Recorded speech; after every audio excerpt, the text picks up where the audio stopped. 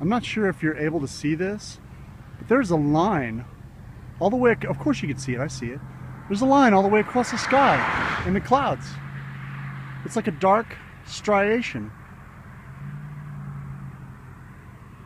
All the way across the clouds. It's uh, all the way all the way across the horizon in the clouds.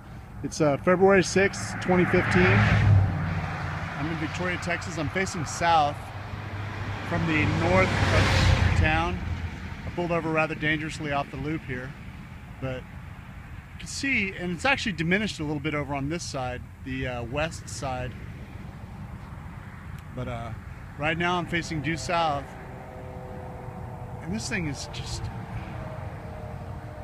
it's massive.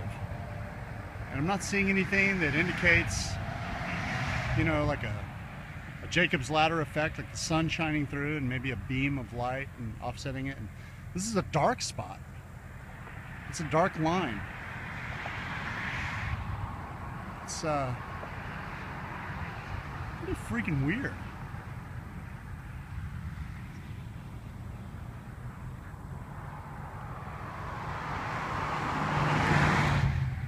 Cloud cover, you got some splaining to do.